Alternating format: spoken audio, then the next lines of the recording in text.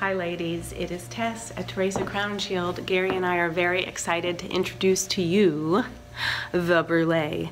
It is beautiful, soft, cashmere angora wool with a lovely hand-dyed crackled silk here at the cuffs.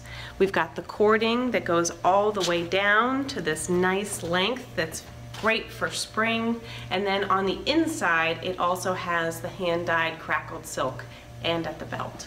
So we've got nice little tails here in the sash that you can tie in the front or you can tie in the back. Um, it is a nice neutral, so you can wear it with brighter pops of color. I've got our black um, silk charmeuse reversible camisole underneath, just giving me a, a nice um, neckline there. It can also do the lower um, scoop neckline, looks lovely. Collared shirts, so here is the other color of this style um, in the Lady Lilac.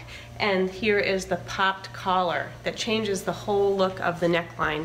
I wanted to show it to you in both ways so that you could see the versatility of this. So cream, yummy for, um, for the spring, but you know, I've been wearing this pretty much year round. It's just a very classic uh, look to it with the warm tones of the brown at the lapel and the softness of the cream.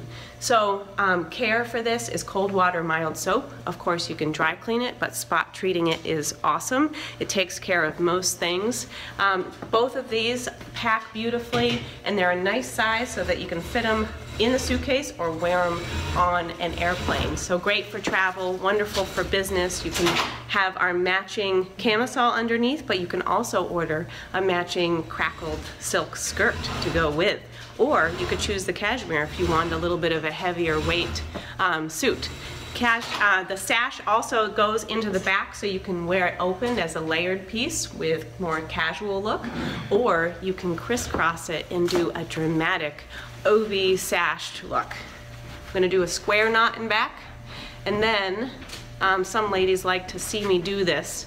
You can either close it in the front and get line up the belt there and get the dramatic line that goes down the front or you can turn the lapel into the belt here. So I'm turning it into the belt so that it will hold that lapelled look.